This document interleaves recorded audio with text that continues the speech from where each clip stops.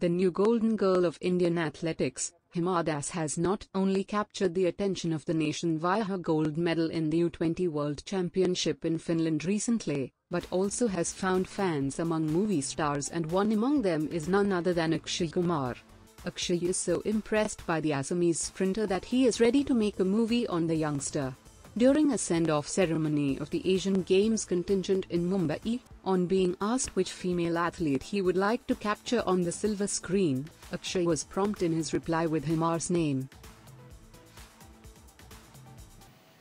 I would like to make uh, on Hima Das uh, because she's a track runner and uh, it is something very new which I saw. I thought I may say somebody coming and winning a gold medal in tracks because we have a thing of on the track we are a little bit weak when it comes to India. We are a little bit weak.